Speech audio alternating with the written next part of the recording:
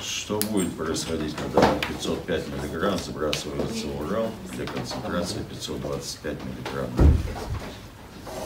Ну, в принципе, это, можно сказать, что это один предел. Это в одной области. Только если изначально, ну, 520, может, 500 где-то идет с Уральска, да, сверху она только идет Урале. Потом где-то, по- попадая в нашу область, она может добавиться или разбавиться водой. А оно как бы там может до 700 вырасти, э, может или э, ну, чуть-чуть снизится. Но два раза она, конечно, не снижится.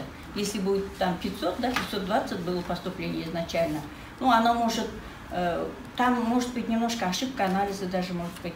Или она, вот если э, где-то на 10, на 20, как обычно бывает, да, но или она может вырасти, если что-то еще куда- откуда-то поступало, или из подземных вод поступало, или какие-то стоки попали.